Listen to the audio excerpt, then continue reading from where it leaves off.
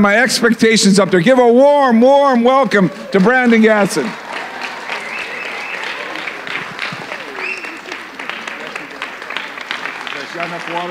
Yes, sir.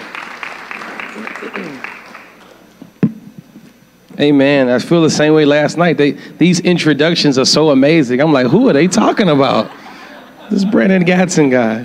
But God is good. Can we celebrate this conference and our leaders at this conference? That's the best you guys can do. Can we celebrate them? Amen. Amen. So um, I do want to do a repeat of last night.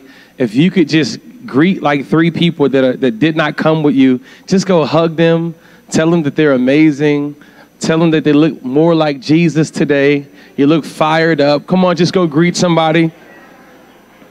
We're going to be with each other for eternity. You might as well get to know them. Tell them something good, something encouraging. Speak a little life in them. I love your hair, great smile. You are amazing.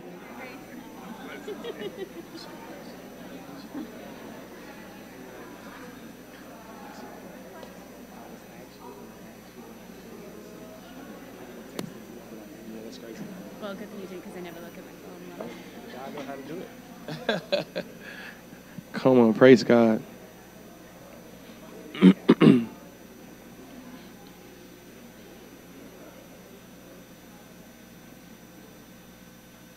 praise the Lord.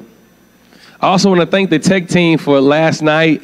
You guys did phenomenal with the verses. Thank you guys so much. And I'll uh, go ahead and get started with a word of prayer.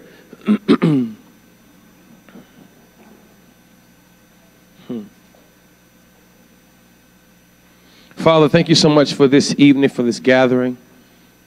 Once again, God, we just settle in your presence. We just settle our hearts in you. Father, we settle our minds in you. Just thank you, God.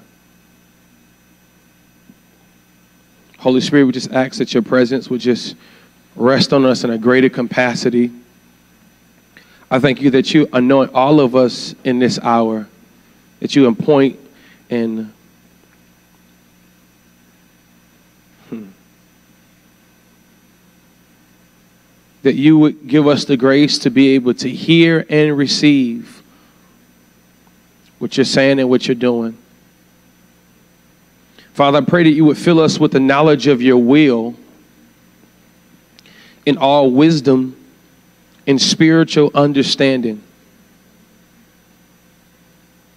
That we might walk worthy of you, Lord, fully pleasing you and being fruitful in every good work that will increase in the knowledge of you, that will be strengthened with might for all patience, long suffering with joy, giving thanks unto you, Father.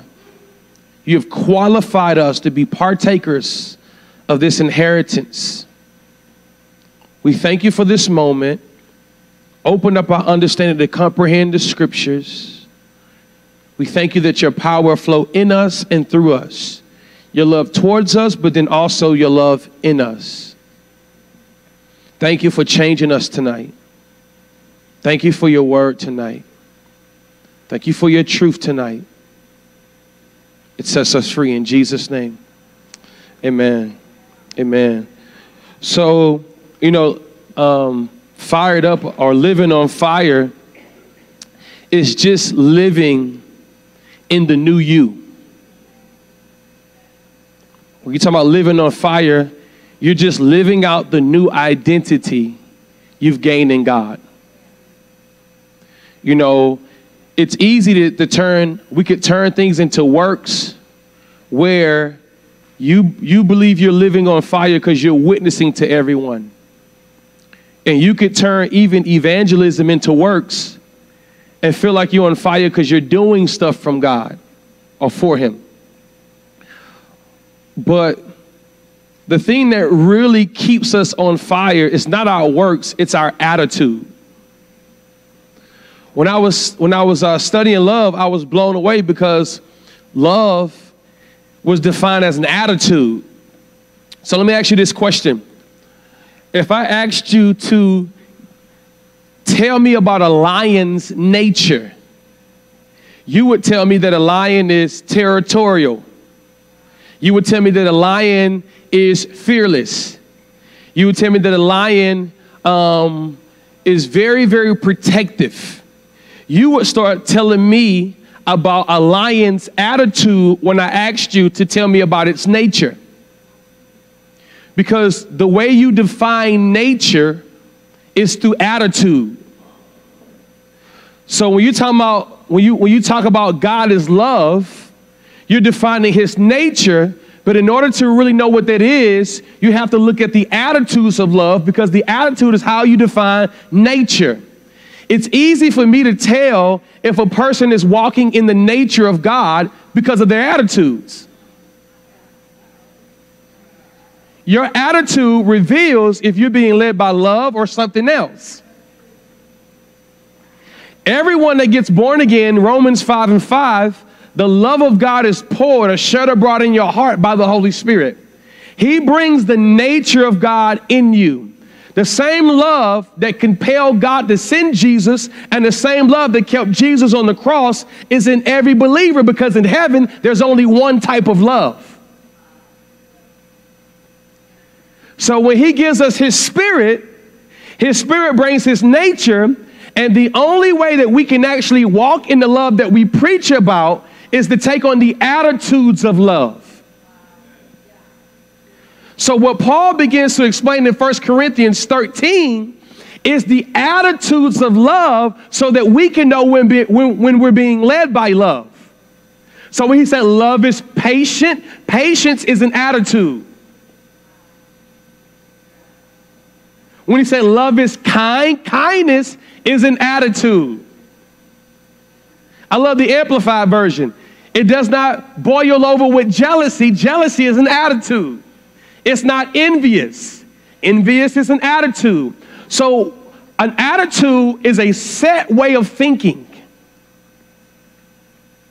So, when it says that God love is unconditional, what he's saying is, is that God's attitude towards us is like um, this is the definition of agape. It's a set way of thinking that never change. So God is saying, I am choosing to think this way about you, and it's settled. I'm never changing it. So although man fell away from God, lost God's nature, we didn't change God, He changed us. So sin doesn't change His attitude towards you because sin is not changing His nature. So, regardless of where people are, his attitude is the same. He's patient towards us. He's kind towards us. He's not uh, uh, uh, looking to exercise uh, the judgment of sin over us. Here's the thing when we stand before God, when you're born again, you guys know this. I know a lot of you guys are leaders, but I just repreach this to you. You know, when we got born again, the Spirit of God came in us. So First Corinthians chapter 3 says that when we go before God, there's two judgment seats. There's the judgment seat of Christ, and then there's the great white throne. This is the one where people get judged for not receiving salvation. This is the one where he judge you for your works. Christians don't go to this judgment because what God judges is not sin, but natures.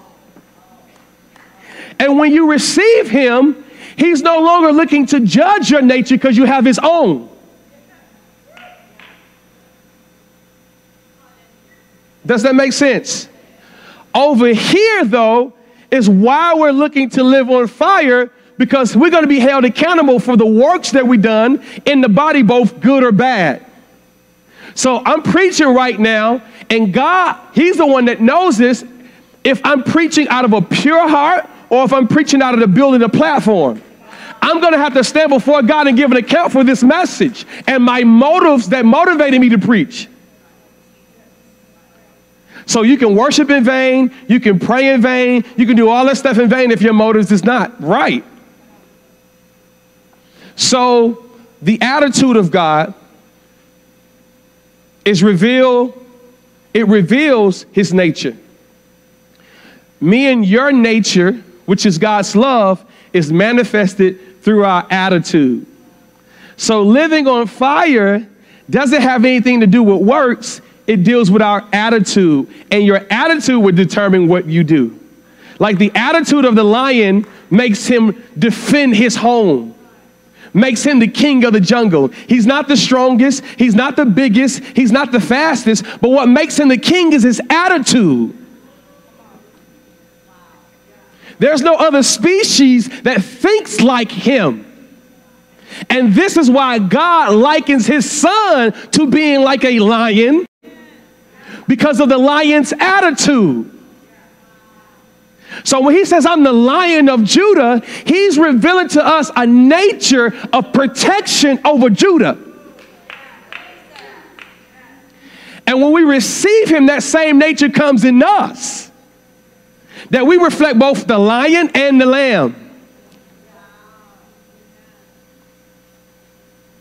Amen? So I can tell what's motivating me through my attitude, the way I respond to you. It's not an indictment. I'm not condemning myself, but I it's like when the Lord started revealing this to me, it helped me because now I'm like I can I can almost I can renew my mind to the point where I know that I'm walking in love daily if I can check my attitude. So the, the first thing we see in Matthew 5 is the be attitudes. And so he's revealing how to be because this is the way his nature is revealed through us. So you come to church, you sit next to somebody.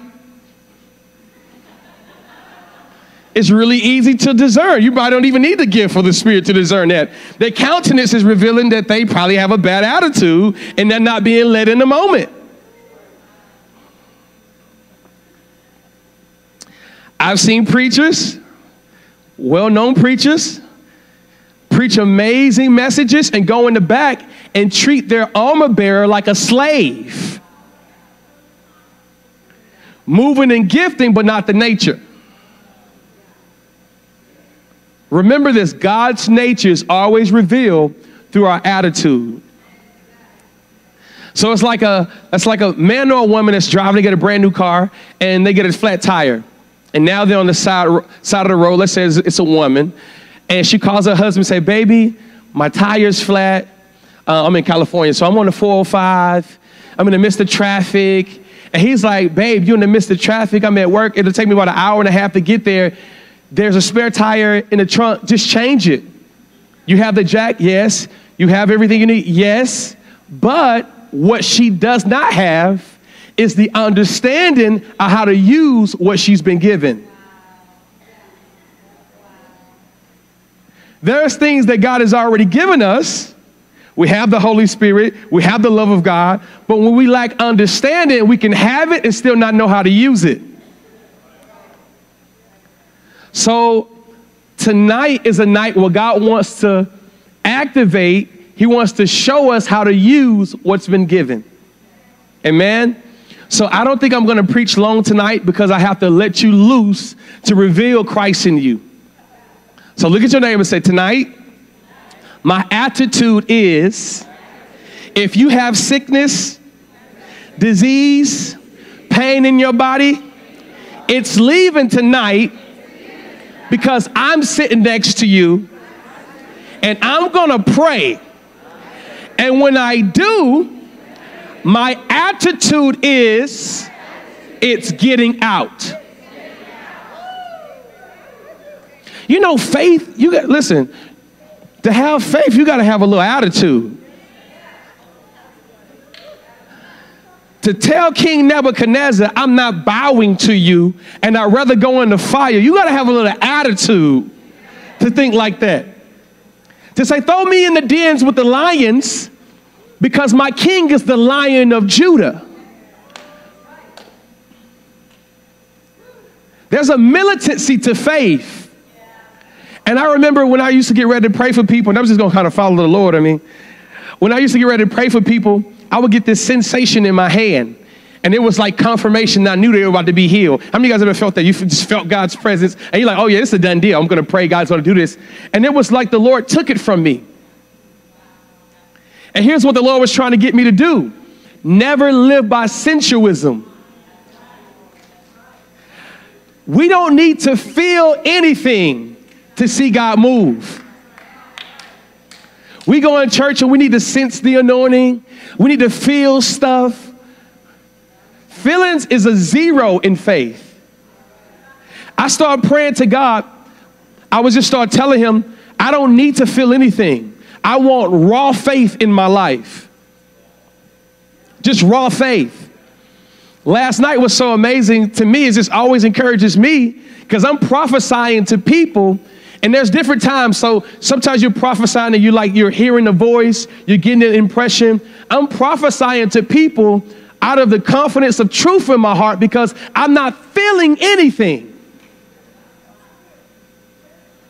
And just the response, oh my God, man of God, you hit this and you knew this and you knew that. And I'm thinking, I just spoke out of faith. Didn't see nothing, wasn't taken in a vision.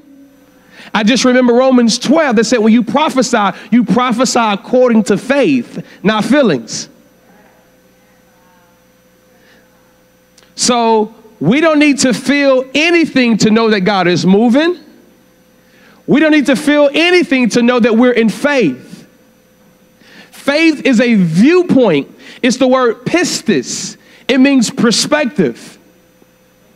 So the doctor tells you you're diagnosed with cancer, you have three months to live. He just gave you a certain viewpoint. The word Faith in the Bible is the word pistis. Pistis means conviction, and conviction means a point of view. So if I ask you right now, what's your favorite color? So people just start, what's your favorite color? Blue, what's yours?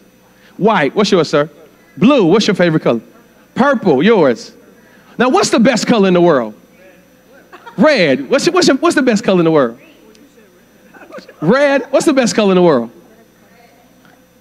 Red color. So what? Purple. So watch this. What you say? Blue, green, red. Going, going once. Red going once, going on twice. Okay. But watch this. What you just gave me was your personal conviction, your viewpoint, your opinion. That's what faith is. Faith is a certain view, it's a certain way that we see. You guys okay if I just take my time really quick? Is that okay? Okay, so the doctor says you have three months to live, you have cancer. He just gave you his view based on what he sees. Faith is the same definition, but it, it's used in the reverse fashion, where the word faith is the word pistis. Pistis means conviction. Conviction means a way of seeing. So he tells you you're going to die, but you give him Jesus's view.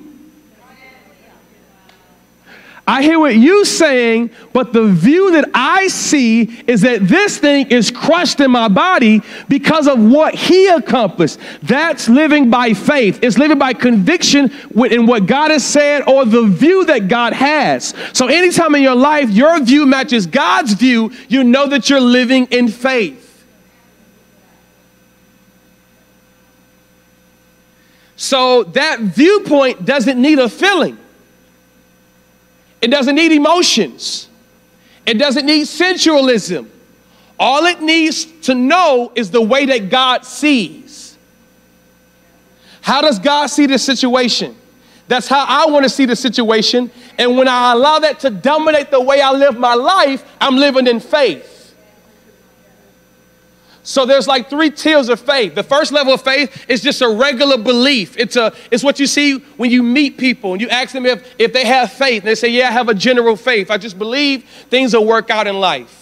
I'm very hopeful that this situation will change. I have a, a, a, a general belief that good will triumph over evil. But it's not a faith in a direct target, in a direct object. It's just a it's like a um a nebulous faith that just believes that some way, somehow, things are going to work together. That's the first line of faith. The second tier of faith that the Bible talks about is faith in a direct object, and that's Jesus.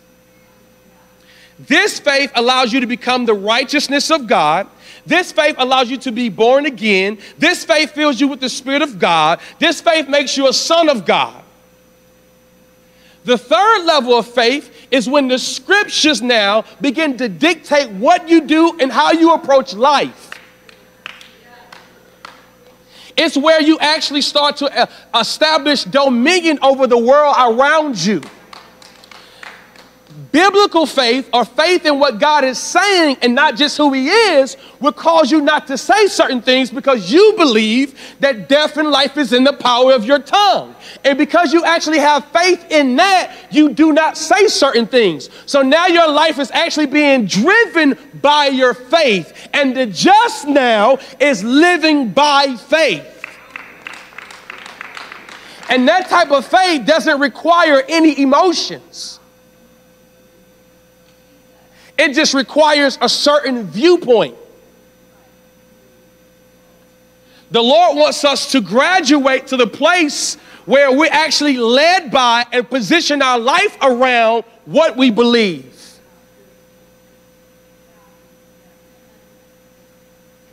Amen?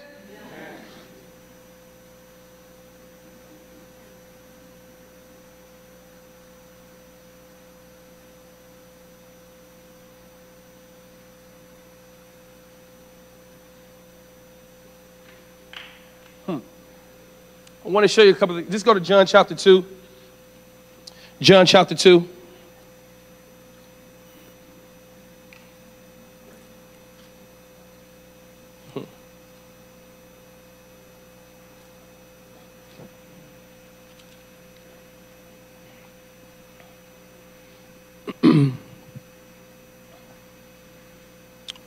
Perfect. Do you guys have the New King James Version? New King James. This is the e- ESV.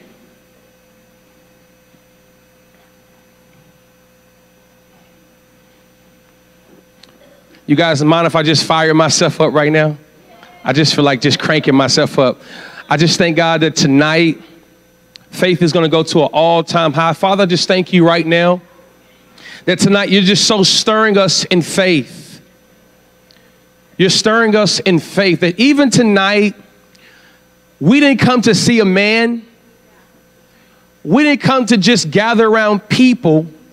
We came in faith, a viewpoint that you will personally encounter us, that you will work something in our heart tonight that would change the way we see life, that you will break any perspective, any view that's not yours any view of ourself, any view of God or people that does not reflect your perspective, you'll break tonight.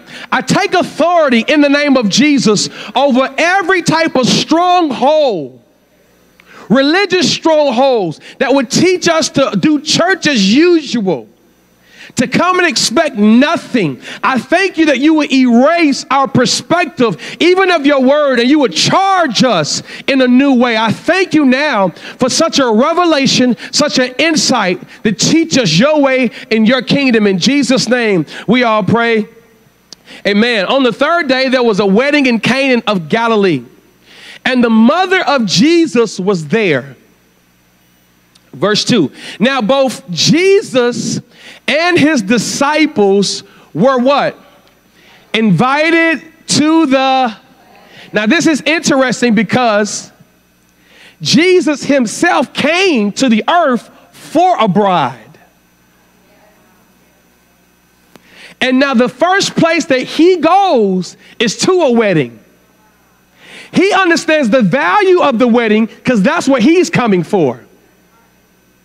And it was wisdom of the people not just to invite his mother, but they invited Jesus. Anytime you want to create an atmosphere for a miracle, you have to invite him. Amen? Jesus and his disciples were invited to the wedding 3. And when they ran out of wine, the mother of Jesus said to him, They have no wine.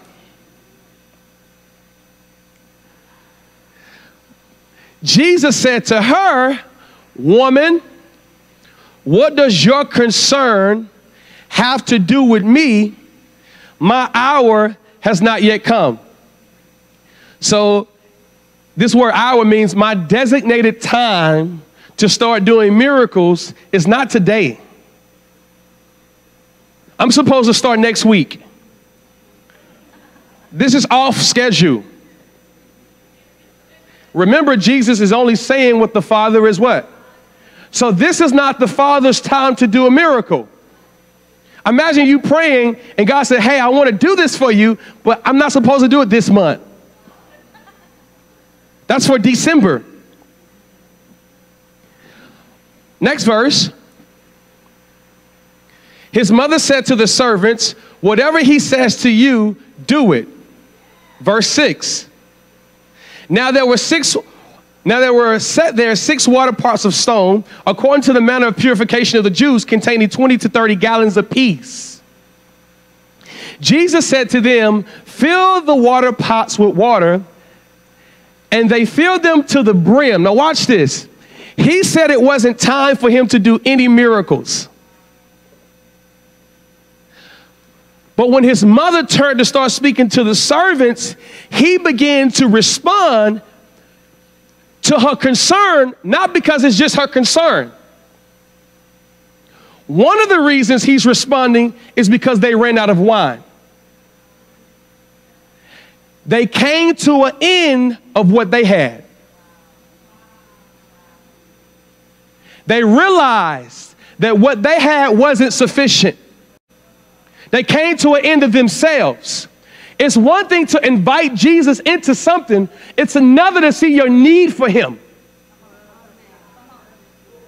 Because he comes to a lot of weddings and we still haven't ran out of wine. So we're still taking authority. We're still living through our efforts to supply our needs. We're still living through our own personal view and not the way that God sees things.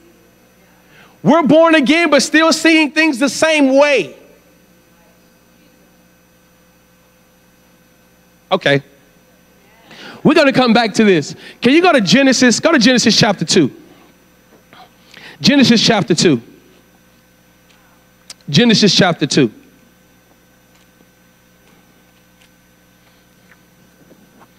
And I'm at verse.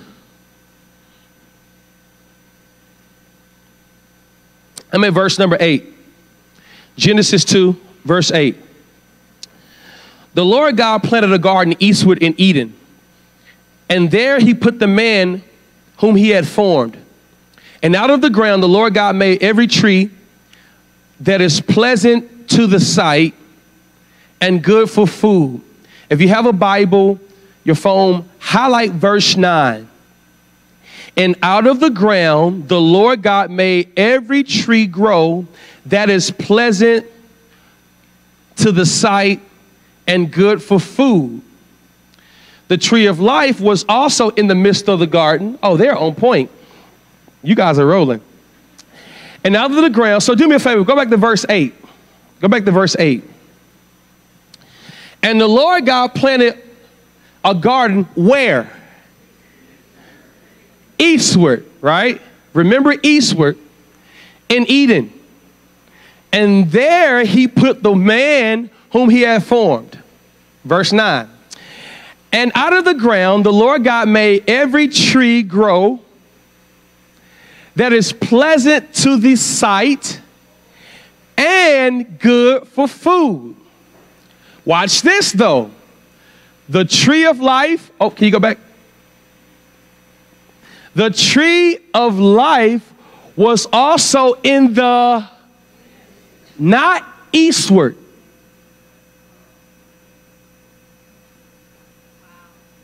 So the trees that are eastward are the ones that are pleasant to the eyes and good for food. You would have looked at this tree and said, mm, girl, that look good. You want this apple? This apple look bomb, girl. And she was like, yes, give me the apple. She's been fasting. She's like, give me the apple. But the trees that are eastward looks good for food. They're pleasant to the eyes. But the trees he's placed in the middle doesn't look good to the eyes, nor do they look pleasant for food. How do we know that? Because Jesus told them not to eat from the tree that's in the midst of the garden. James 1 tells us that God cannot be tempted, nor does he tempt people. But every person is tempted when they are drawn away by their own lust. So Jesus wouldn't put a tree in the garden that looks good and tell you not to eat from it. He will be tempting you.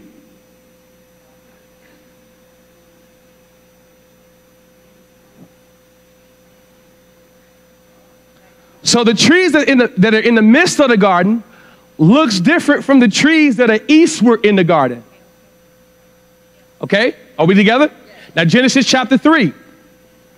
Genesis chapter 3 verse 1. Now the serpent was more cunning than any other beast of the field which the Lord God had made. And he said to the woman, watch this. And he said to the woman, Has God indeed said to you, I said that you should not eat of the tree in the garden?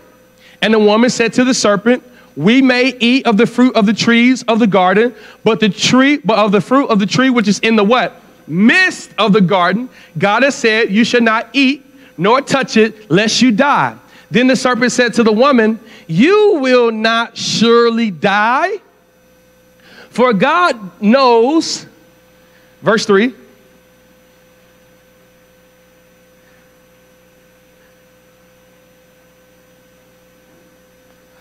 but the but of the fruit of the tree which is in the midst of the garden, God has said, You shall not eat nor touch it, lest you die.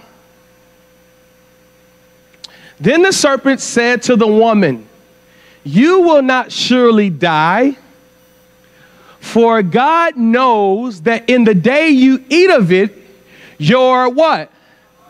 Will be open, and you will be like God, knowing good and so he's he's not after her heart right now.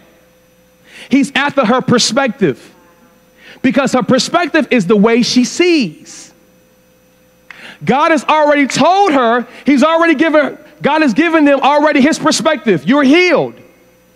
Sickness is not going to consume you. Death is not your portion. I'm going to take care of your needs. Lay your hands on the sick and they will recover. He gives you His view. That's his perspective. Satan comes and say, Well, are you sure? Are you sure it's God's will to heal? Are you sure that God wants to do this? Well, what's going on? Because if it was God's will, wouldn't he have done it by now? He starts to sell us a different view because he wants to change the way that we're seeing the situation. So he's selling her a different view, not by talking about, he's not talking about demonic things. He started to preach a sermon on God to change the way that she sees. That's the danger of religion. It presents a view that God has not given you. It contains the presence of God, not releases him. It put limitations on us. You think that you can only live as good as the pastor. But you're called to be like Christ. Verse 4, or 5, or 6, I'm sorry. So, watch this, watch this. So, when the woman saw, was she blind? She was seeing the whole time but something looks different now. So when the woman saw that the tree that's in the midst was good for food, that it was pleasant to the eyes, a tree desirable to make one wise, she took of it of its fruit and ate. Wait a minute. This tree is in the midst, and when she first looked at the tree, it didn't look good. It wasn't pleasant to the eyes. It wasn't tempting. All of a sudden, she's still filled with the Spirit of God, but she's not seeing the way that God sees. So I can be filled with God and still see the tree wrong.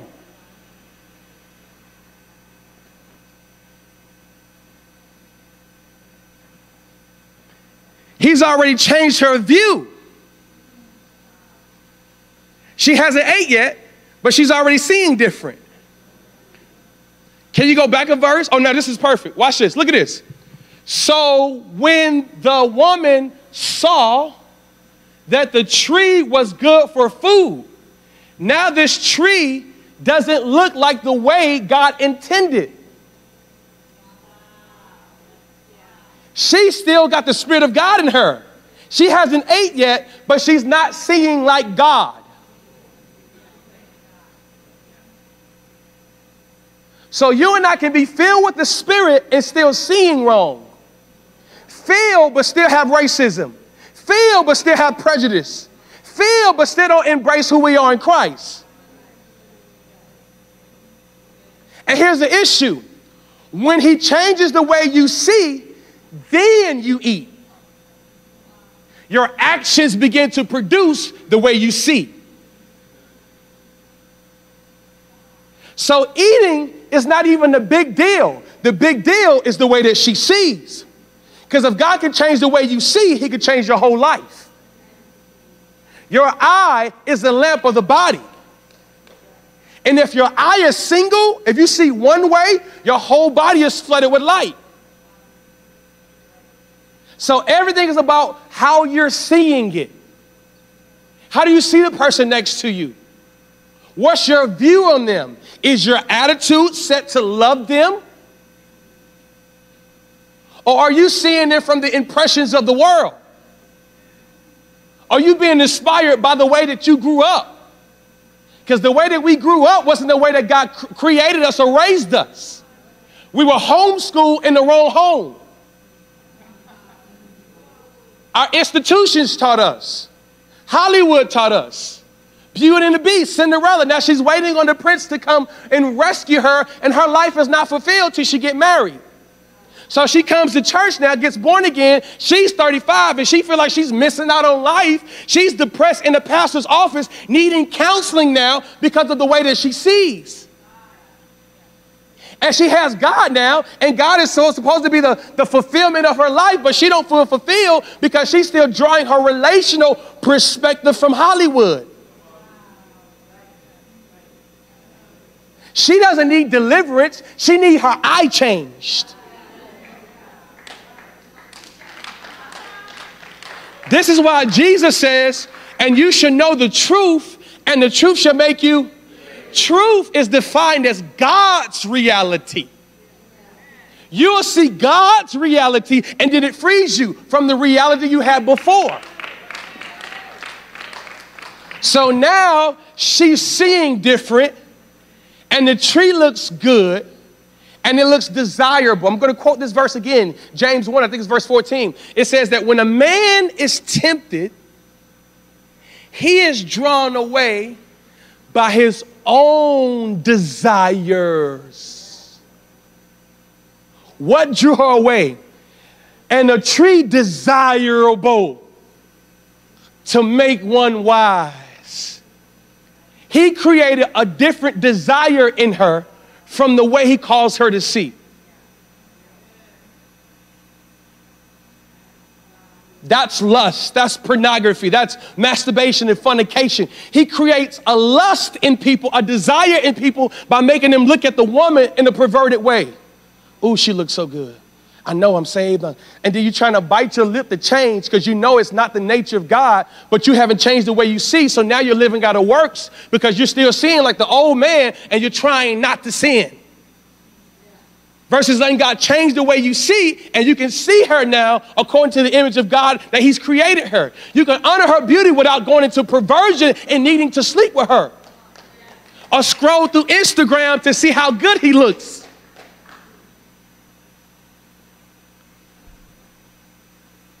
That's just one aspect. You can use finances.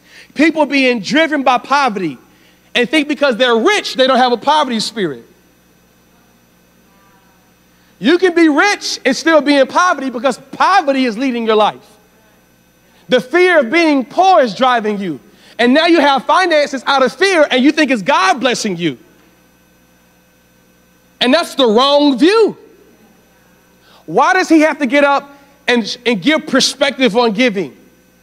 Because in a room like this, people got 99 reasons why they shouldn't give because of their experience, their view of pastors and churches. Now we got to convince the family of God to help us put on something for free because our view is still of the world. And we think because we use verses, it's spiritual. Or because we use Jesus' name, is spiritual. So we just try to tag Jesus on all these different things and think that it becomes holy because we use his name. Christian mingle. Now we feel better mingling because we put Christian in front of it. So now we test drive women and men in the name of the Lord.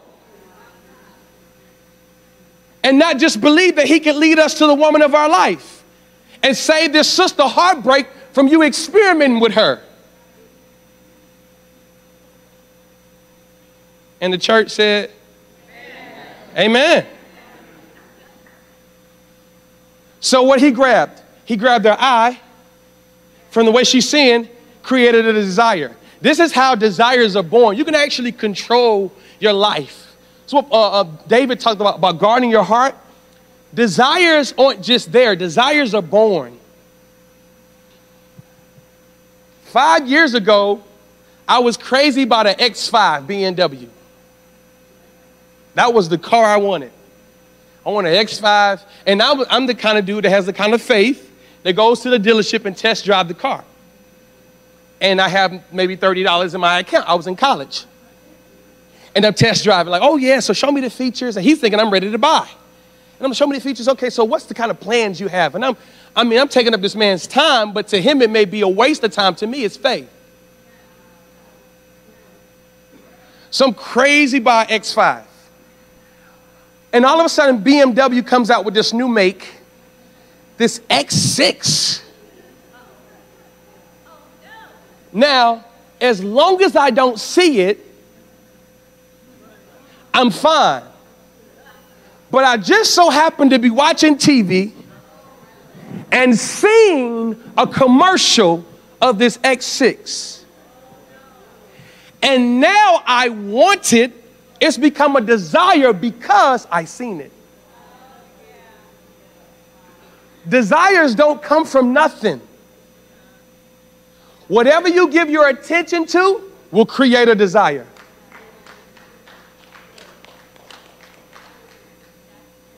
So if I want to stay married and be faithful, I just don't give my attention that way to her. Even though she may be a nice looking young lady, God bless you, I don't give my attention to her in a certain way. And that keeps the desire from being unborn.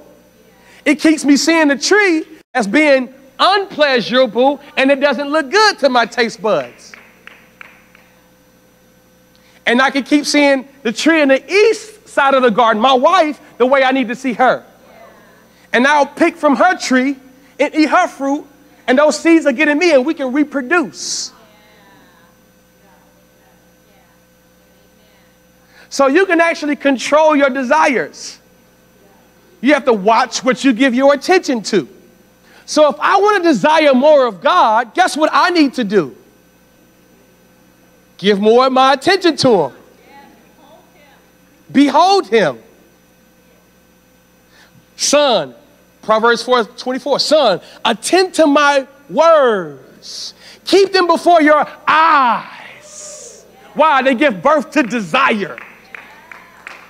You can tell when your fire's going out. It's easy to tell. It's when your attention is somewhere else other than God.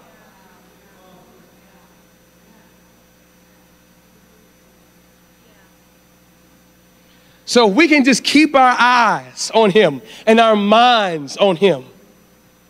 Our desire will continually be Him.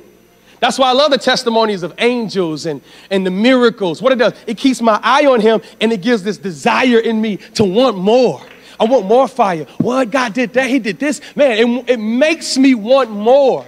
The testimony of what's possible in a man that's submitted to grace. So now she eats. She took over the ate his fruit. She also gave it to her husband. This is just like the story we're about to go back to. Satan didn't need to say anything to Adam. Why? He discipled what Adam had his eye on his wife.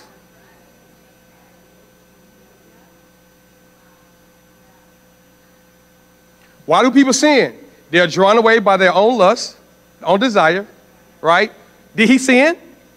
So there had to be a desire somewhere. What was his desire for? His wife. You guys remember this? He's in deep sleep. He's knocked out. He's like, he took some NyQuil.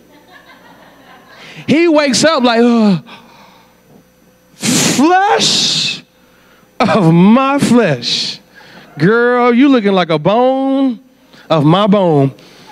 For this cause, see, God didn't marry them, Adam did. God didn't say this.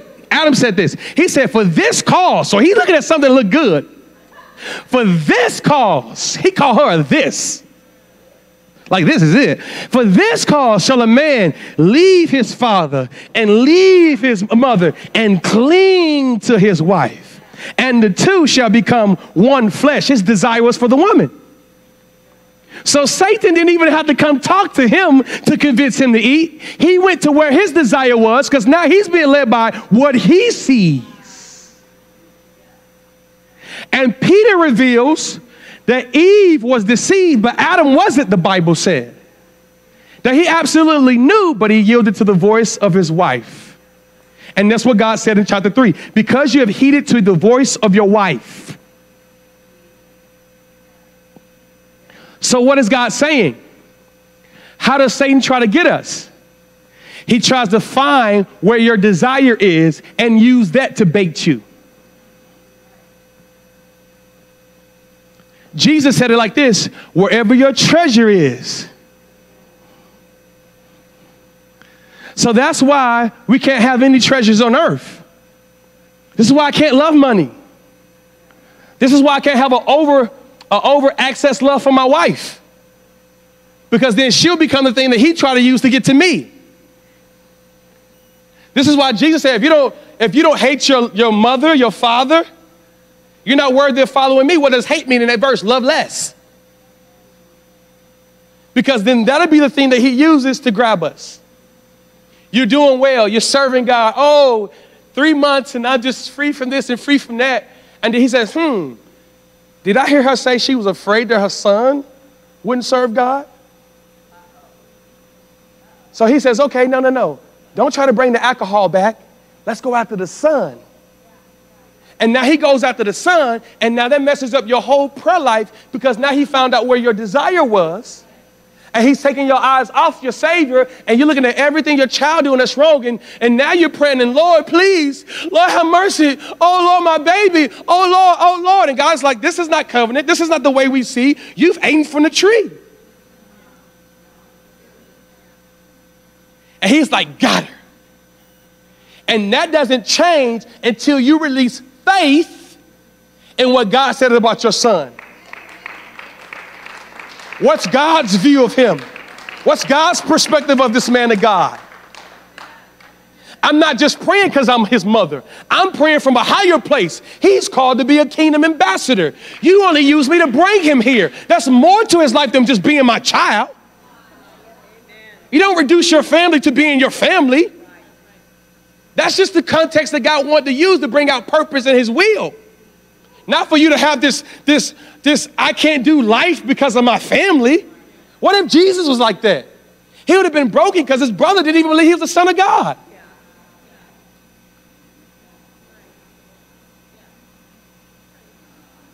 Who is my father and my mother? I'll tell you. He said, Those that do the will of my father. Not my father, my, who, who is my mother and my brothers and my sisters? Those who do the will of my father.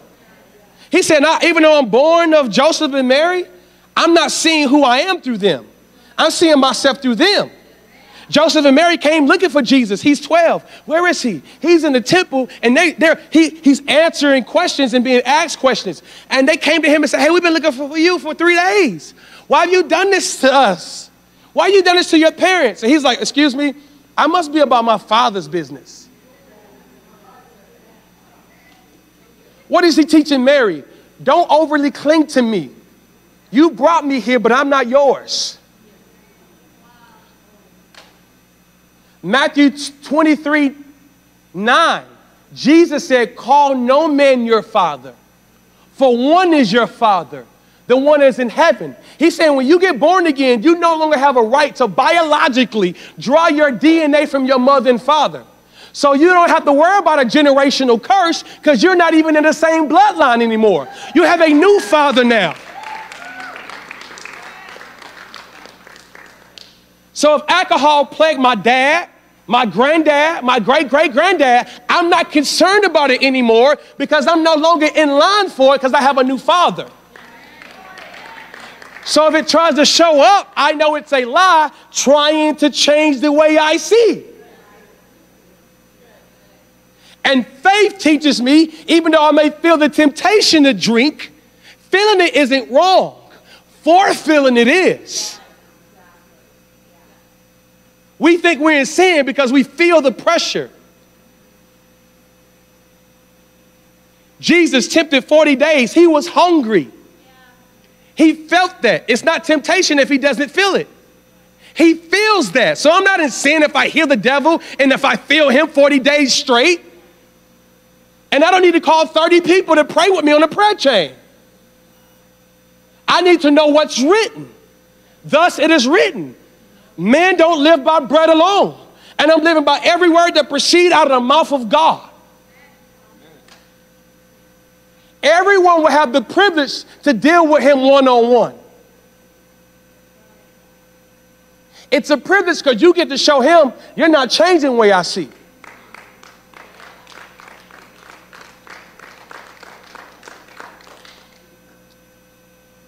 We together? So she gave to her husband. He was with her and he ate. Watch this. This is amazing. Then the eyes of both, hers was already changed, but now both of them. Then the eyes of both of them were open. Open. So you mean to tell me God had their eyes closed?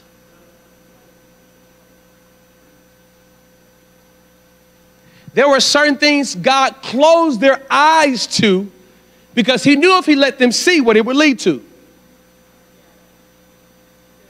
So I don't need to try to open something God has closed.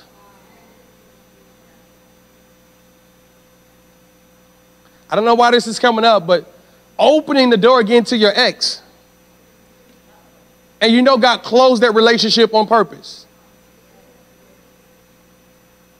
Opening the door to conversations you know God has already settled in your life. Keep it closed. Look at your neighbor and say, keep it closed.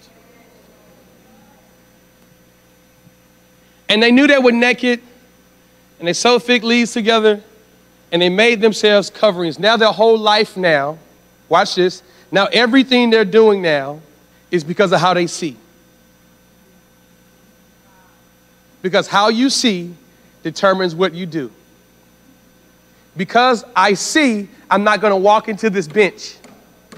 My eyes will tell me, go this direction, go this direction, because your eyes are designed to lead you. So whatever you see determines how you would go. This is why Paul prayed that the eyes of your understanding would be enlightened.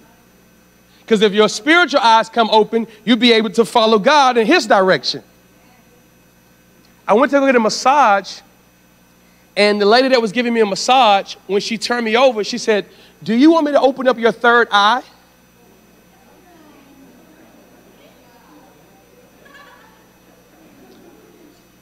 What I told her, I said, ma'am, it's already open. I said, have you heard of the Holy Spirit? This is what got me. She's been in LA 15 years, and she's born in Jerusalem and never even heard of the Holy Spirit. So now I have to explain him from scratch. But when I was inquiring about this third eye, the Lord took me to what I'm showing you now. And he showed me this is how Satan opens up people's eye to see things that God had never intended for them to see.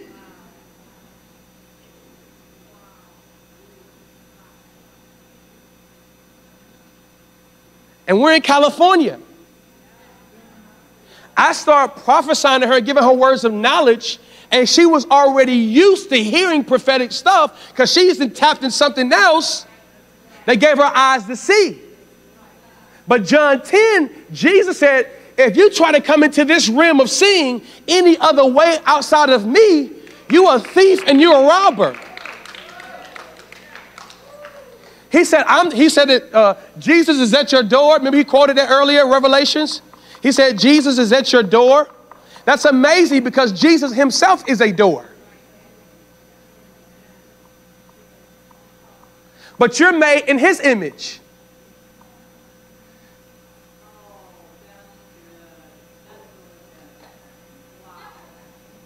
So he wants to open you up to something, but you can open yourself up to other stuff. Stuff that he wants to keep closed.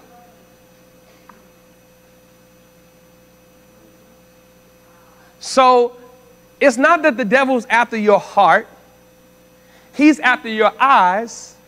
Because Jesus said if he gets your eyes, he gets your whole body. That includes your heart. So your perspective right now determines what you do. So faith is a viewpoint. And this gives you the ability to change the way you see. This is why he works so hard to keep us out of this. This is why he works so hard to make this just a devotional book and not one that changes us. He wants you just to feel good that you read this morning. But as long as it doesn't change the way you see, you're not a threat to him. So you can read this and stay the same. 40 years with God and still think the same. Faithful to church, but never become the church. Saltless salt.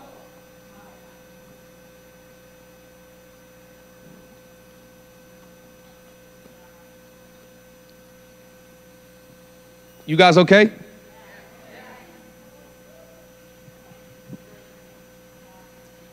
You guys, I mean, y'all, I'm I'm dishing out some strong stuff and y'all just eating it. Y'all must be hungry for Jesus. My God, like none of you, no one has gotten up and walked out. I don't care about I see the way I want to see. Look at your attitude. I can tell what you're being led by. Okay, y'all want to finish this John 2? Is that okay? We finish John 2? You just enjoy. I just I'll do all the work. You just sit there and just just receive. Ministers, we're servants. I'm just serving you my portion. Amen. I just want to serve you. So you grab your phone, record, you just enjoy. Just let it go in, okay? John 2, can you can y'all celebrate the tech team? And they just doing such an amazing job. The booth, you guys are off the hook. Take me back to John 2, and then we'll get into moving in faith. God's what? Amen. That's what we're going to move in tonight. And guess what happens when you move in faith? Miracles. So you you prophesied and told your neighbor that you was going to pray for them and that they were going to be healed. That's what you said. So I'm just to hold you to your word, all right? It's going to be okay. Okay, so we read this on the third day. There was a wedding in Cana of Galilee, and the mother of Jesus was there. Verse number two. Now, both Jesus and his disciples were invited to the wedding. Three. and when they had ran out of wine, the mother of Jesus said to him, They have no wine. Jesus said to her, Woman, what does your concern have to do with me? Watch his view. My hour has not yet come. His mother said to the servants, Whatever he says to you, do it. That's her view. now there are six, now there were set there six water pots of stone according to the manner of purification of the Jews, containing 20 to 30 gallons of peace. So, this is custom. When you went to a Jewish wedding, you would go there, and wherever you came from, obviously you would bring the dirt from wherever you came from. It would be on your feet, it would be on your hands. So you would go to one of these water pots, wash your hands, wash your feet, and then you'll go into the wedding. So these water pots are filled with people's dirt from their past.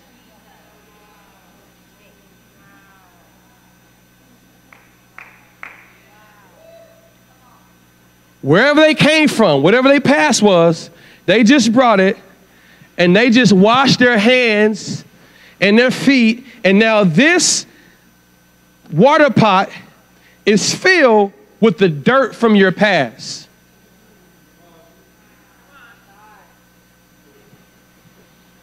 Next verse. Jesus said to them, Fill it up to the brim. Then draw some out.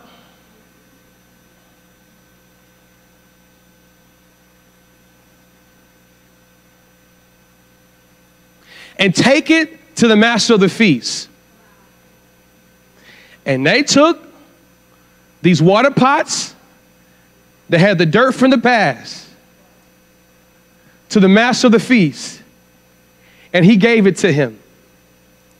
He took it, and what was dirty water was transformed into wine. They already had wine at the wedding, but they ran out. They came to an end of what they had, and now they needed the one who invited them to the wedding to give them what he has. They ran out of what they had. So now they needed Jesus, who is at the wedding, to give them what he has. What did he have? Their dirt. What did he transform? Their dirt from their past.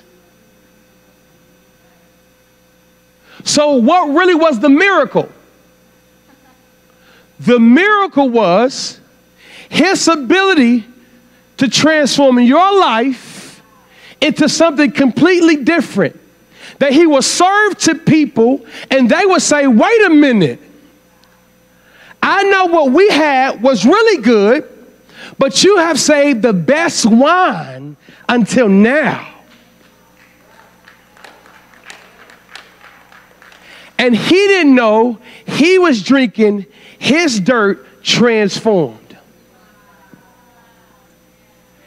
Jesus' ability to transform your life is the, the miracle of water to wine.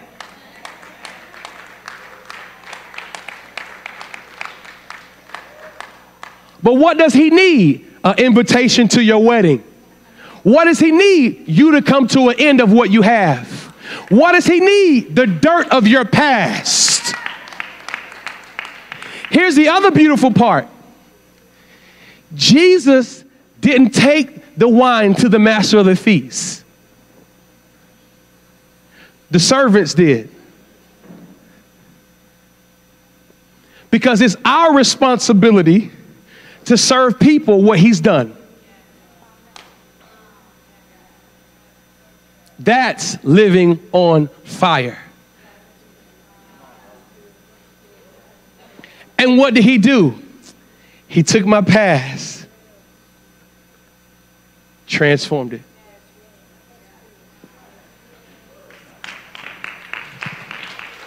Amen. And I'll just read this out. When the master of the feast had tasted the water that was made wine and did not know where it came from. See, when you deliver this wine, the world don't know where it came from. They don't know about Jesus. But look at this. But the servants who draw, who had drawn the water knew. So the servants knew where it came from. It came from Jesus. But the ones that was drinking didn't know. The, the feast, uh, the feast called the bridegroom. When the master of the feast had tasted the water that was made wine and did not know where it came from, but the servants who had drawn the water knew, the master of the feast called the bridegroom. Why? Uh, I won't go why right now. It's amazing. 10. And he said to him, Every man at the beginning sets out the good wine. And when the guests have well drunk, then the inferior. You have kept the good wine until now. Verse 11. This beginning of signs Jesus did in Cana of Galilee and manifested his glory. Last verse, watch this, look at this. And his disciples, what? Believed in him. Not his words yet. They just believed in Jesus. Now, watch this. I'm in the same chapter, John chapter 2. Actually, I'm going to go to John.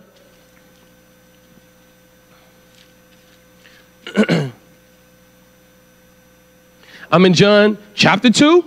Just go down to verse 13.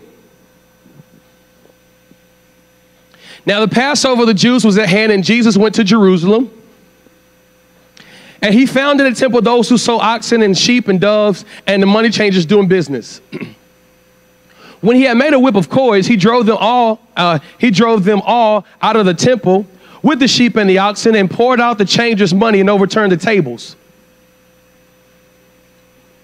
And he said to those who sold doves, Take these things away. Do not make my father's house a house of merchandise. And then his disciples remembered that it was written, Zeal for your house has eaten me up. So the Jews answered and said to him, What sign do you show us since you do these things? Jesus answered and said to them, Destroy this temple in three days, I will raise it up.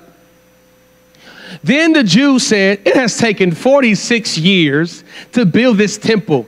And when you raise it up on, in three days, but he was speaking of the temple of his body. Therefore, therefore, when he had risen from the dead, his disciples, remember what we talked about last night?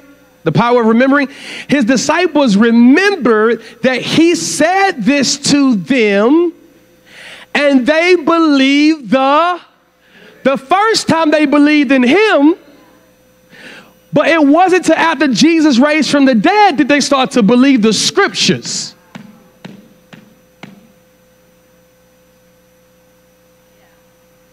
It's one thing to believe in Jesus. I confess he's my savior. I confess my body. It's another thing to believe you're healed and sickness won't touch your body because you believe what he said.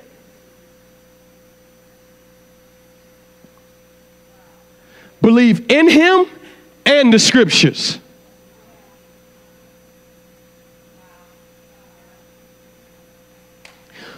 Believing in Him changes your eternal state. Believing the scriptures changes your current state.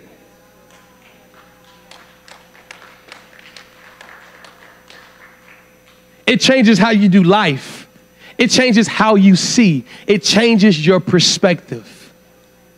So it's normal, though, to start off believing in Jesus.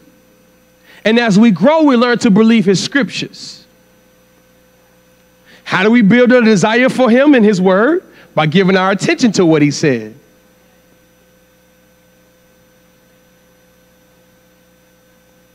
Man, is that good? All right, last thing. Go to It's only 8:30. Did you guys bring your, did you, did you guys bring your pillows and blankets? I'll preach until Jesus comes back. No. We're, amen. We're, we're, almost, we're almost at a conclusion. Amen. I, now, I feel like the Lord just set a foundation. I'm going to show you Jesus' view. And now, well, and after that, we're going to move in faith according to the scriptures. How many of you guys believe in Jesus? Okay, so you have faith in him. How many of you guys believe in the scriptures? That's what we're going to exercise tonight. Our faith in the scriptures, in what he said. Do you need to feel anything? Do you need to feel the anointing? You just need the right view.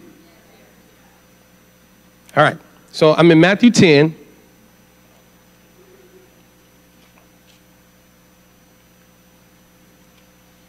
Matthew 10.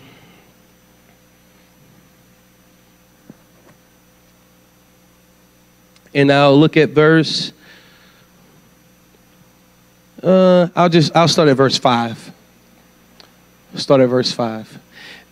These twelve Jesus sent out and commanded them, saying, "Do not go into the way of the Gentiles, and do not enter the city of the Samaritans, but go rather to the lost sheep of the house of Israel. And as you go, preach, saying, saying what, guys?" The kingdom of heaven is at hand, verse 8. Heal the sick, cleanse the lepers, raise the dead, cast out demons. Freely you have received, freely give. Interesting because this is this just means so much to me. At this point, none of the disciples have the Holy Spirit in them. John, John 3 34. Go to John 3 34. John 3 34.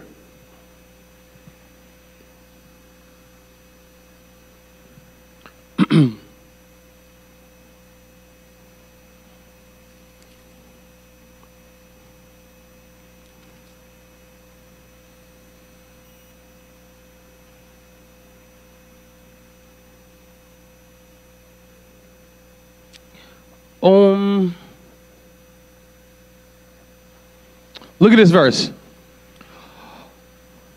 John is talking about Jesus. And he says, For he whom God has sent speaks the words of God. For God does not give the Spirit by measure.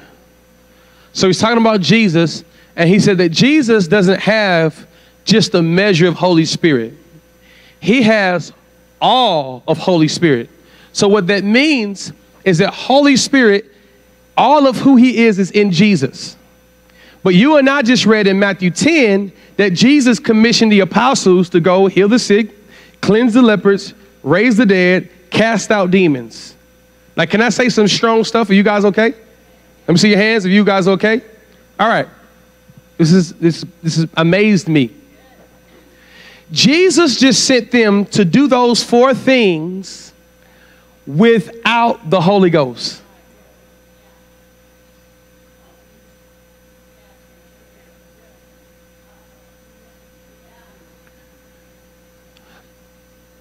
So these brothers are raising the dead, healing the sick, cleansing the lepers, casting out demons without the Holy Spirit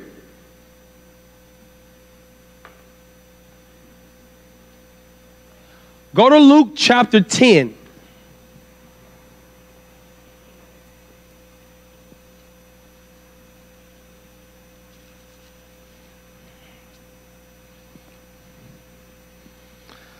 Let's do verse 17.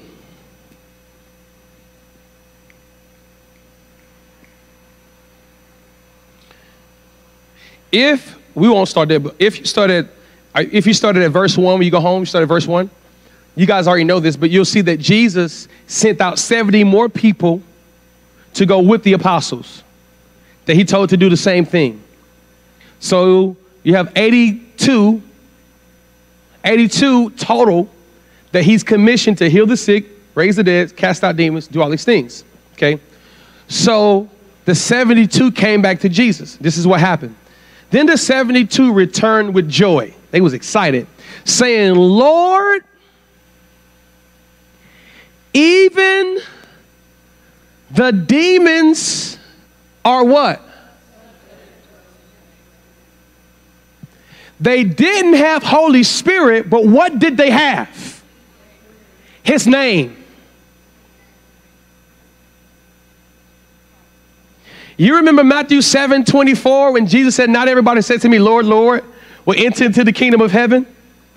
But those who do the will of my Father, that they're going to come before him and say, Lord, we cast out demons in your name,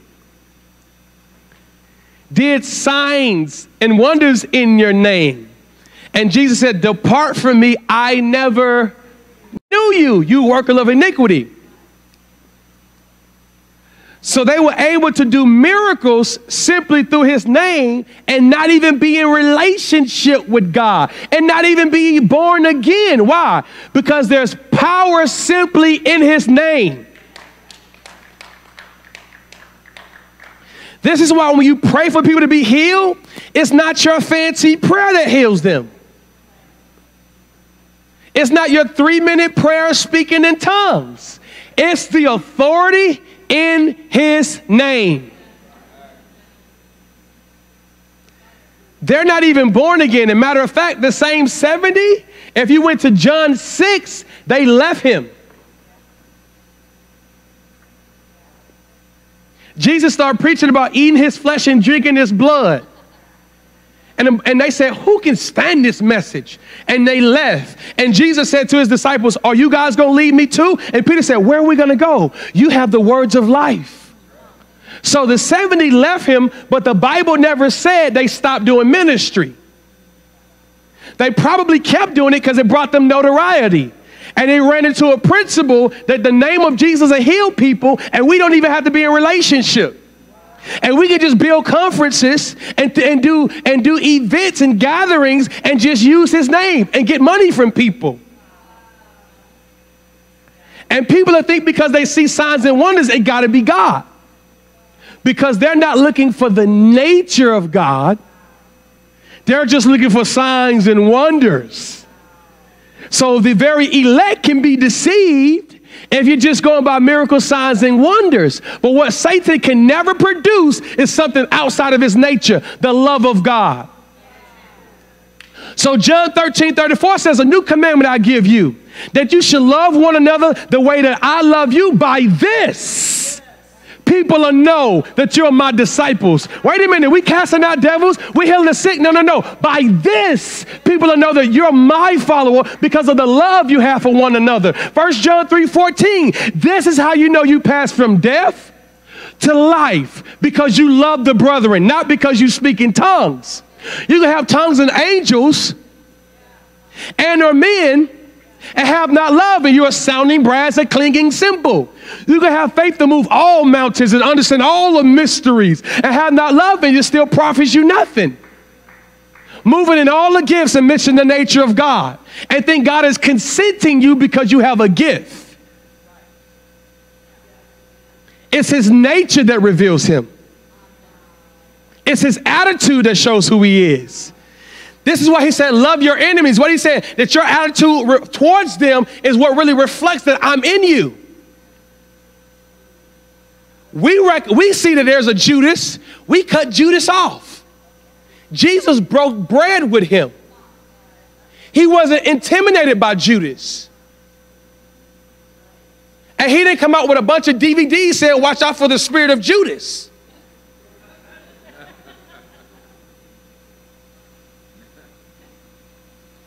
He cut covenant with him, communion. This is my blood. Take, drink. My body, broken for you. He who dips his hand in here is the one that will betray me. Knew it, never called him out, never put him on blast, never put him on social media, never put him on IG, never exposed it. The one that put their hand in there giving him an opportunity not to put his hand in there. Here's what I love about it though, it's, and this is why I don't like religion, but you see something very unique about Judas. What is repentance? A change of mind, a change of heart. We say it's when you do the opposite, when you go the opposite way. Did Judas repent? Did he take the silver back to the people and say, Oh, I betrayed innocent blood? He took it back to religious people that wouldn't embrace him, that wouldn't accept him. Oh, we can't take what you have, Judas. That's blood money. We can't see you outside of what you did. And they condemned him to death. People that want to keep seeing you the same way, unforgiveness. I forgive you, but I don't have to like you. I'll love you from a distance. That's still seeing them as Judas. All day they repented. They're bringing back civil, and you won't embrace them. Because your attitude is not reflecting his nature. You're seeing different.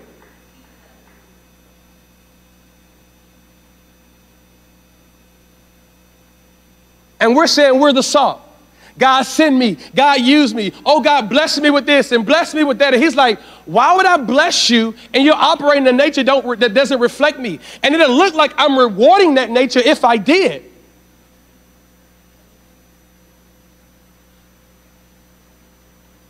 And we'll think it's spiritual warfare. Oh, man of God, can y'all intercede? Can you pray for me? Can, there's something in my life. I feel like I just can't get to the place I'm trying to get in. Every door closed. And he's like, wait a minute, I deserve. Did you forgive your husband, your ex? Well, yeah, yeah I forgave him. I just, I don't talk to him, but I forgave him. Are you still seeing him according to what he did to you? Are you still a victim in your mind? Because if that's the case, we don't know. I, I can't even pray. I can't change nothing.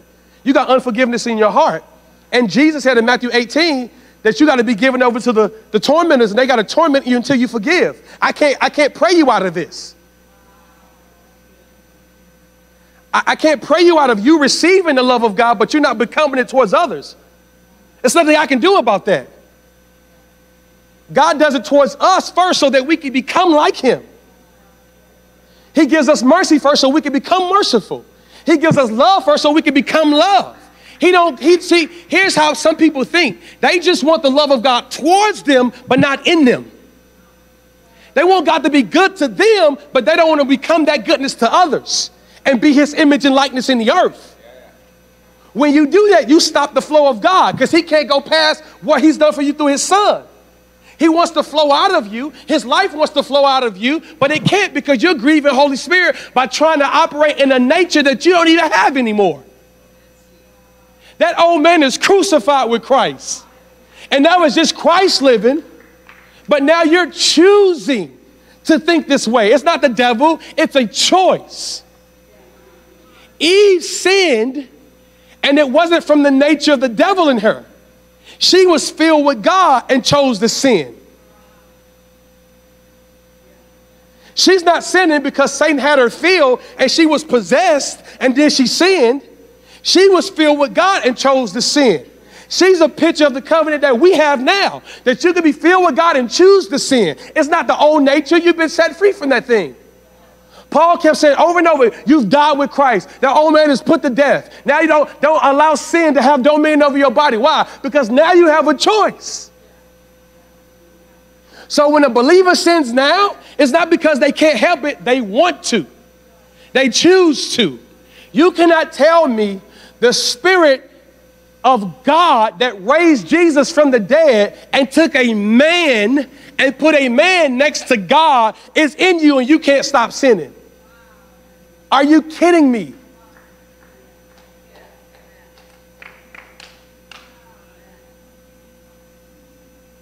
Holy Spirit in us.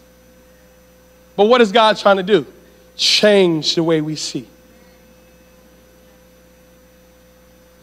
So they're moving in power simply through his name. It's not your fancy prayers. They didn't fast first. They didn't read a bunch of verses first. He told them to go, lay your hands on the sick, cleanse the lepers, cast out demons, raise the dead, and they just went.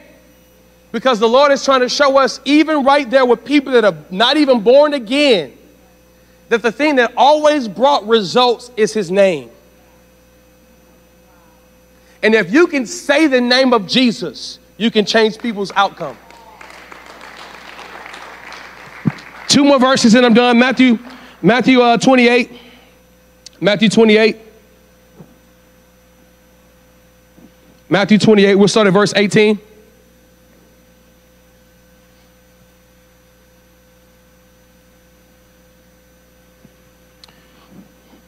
Let's jump down to verse 18.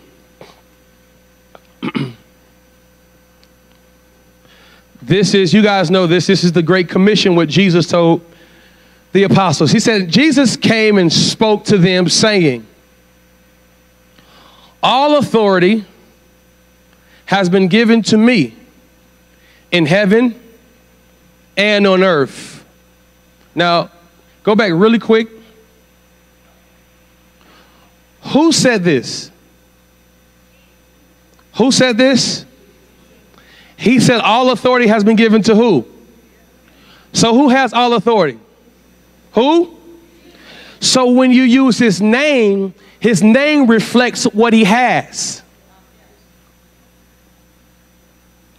So, when we pray, his name begins to demonstrate the authority that he has because it's been given to Jesus.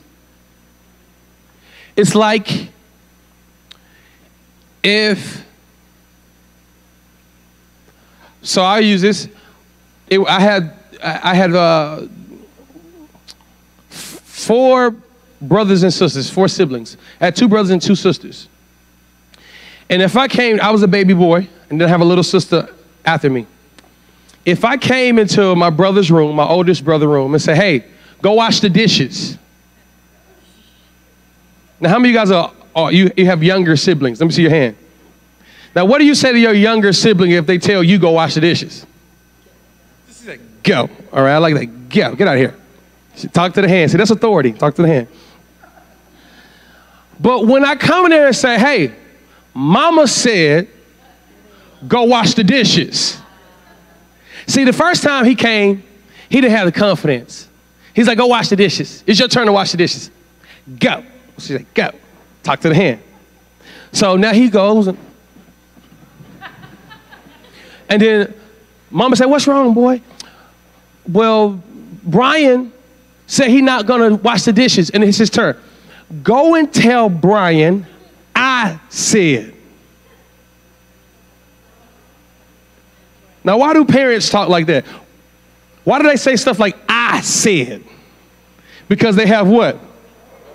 So now, when mother says that to him, he's empowered because who told him? So now he comes back in there and says, Mama said, go wash them dishes. And guess what we get up to go do? We wash the dishes because of Mama's name, her title, and the authority she has. So the name of Jesus is like that.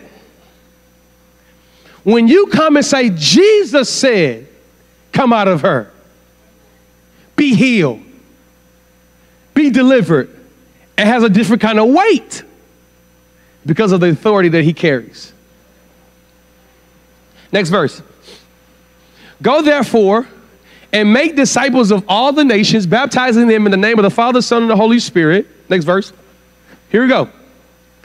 Teaching them, that would be us, teaching them to observe how many things? All things I have commanded you. Did he command them to heal the sick? Raise the dead? Cast out demons? Freely you receive, freely you give? So they were supposed to teach us the same thing Jesus taught them. So till this day, we're supposed to be continuing what he taught the apostles. And guess what he gave them to do all four of those things? His name. So, guess what we're going to do tonight? We're going to release the power of his name. And guess what's going to happen? People are going to start getting healed. That's my perspective. It's his. I believe in Jesus. I also believe in the scriptures. Why? He's turned my water into wine.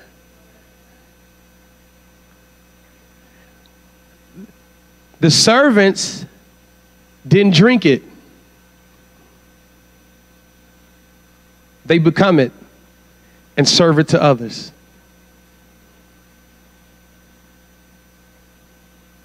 Man. So we're going to create a buffet really quick and do some things. How many of you guys in here have any kind of pain, deficiencies, aches, tension in your body? Just lift your hands up. Okay. So look at your neighbor and say, neighbor, you promised me. Yeah. you was gonna pray for me. And I was gonna get healed. Give me what you promised. Tell them, give me what you promised. All right, we're gonna have some fun. Can we loosen up a little bit? Okay, so everybody stand up really quick and just shake or do something, stretch. And put your hand on your heart really quick. Holy Spirit, there's a lot of things that were said tonight, and I thank you that it all is sown in good ground. And that what we preach tonight, what was said tonight, will just be the foundation. That you will build greater truths in them in their com- communion and intimacy with you. That you would expand this and that it go down deep. And that we'll live by faith and that your nature would consume us and our attitudes will be yours. I thank you, Lord, for what you're doing. Now, Father, thank you for the shifting of grace that you would just allow this to take us into a time of miracles, signs, and wonders so that we can be stirred to live on fire in the world around us. We thank you for it now. We bless you for it now. In Jesus' name, amen. So